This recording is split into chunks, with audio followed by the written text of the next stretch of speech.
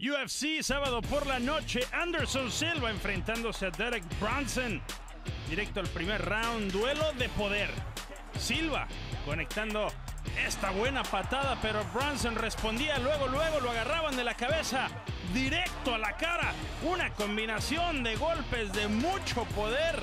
Alcanzaba a librar Silva el primer round. En el tercero, Bronson conectaba un rodillazo directo a la cara de Silva que se mantenía de pie al final por decisión unánime Anderson Silva lleva el combate ante Derek Bronson.